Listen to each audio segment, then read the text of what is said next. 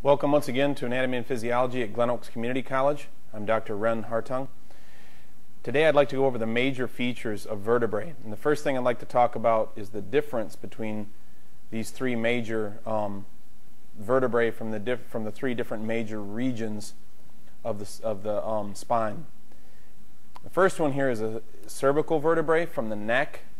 And if you look at it close, one of the things that really distinguishes cervical vertebrae is that the cervical vertebrae have transverse foramina, or these two holes on either side. All vertebrae have this central hole,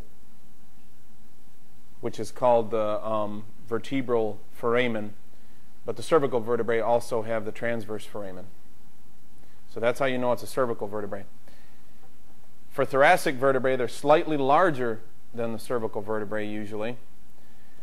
Um, on a real thoracic vertebrae, you'll see um, facets where the ribs articulate with these bones.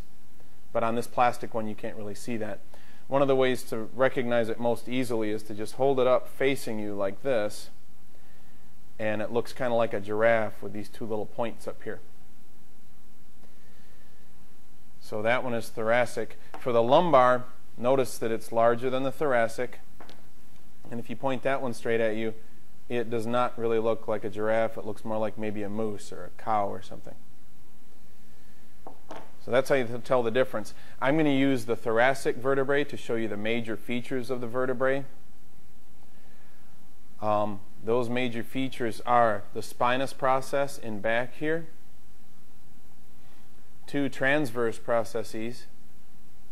So transverse process, transverse process. Um, the pedicle, which connects the transverse process and the spinous process to the body of the vertebrae, and this is the body over here. And then you have the lamina, which is this area. It connects the transverse process with the spinous process. Another feature of the vertebrae is, of course, this large hole in the center here, which is the vertebral foramen, where the spinal cord goes through.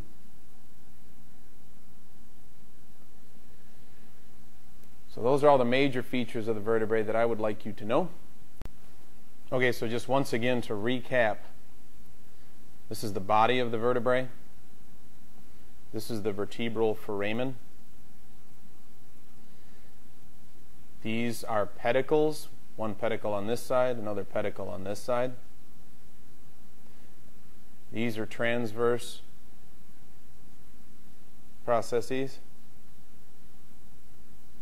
So transverse process, transverse process. The lamina connect the transverse process to the spinous process.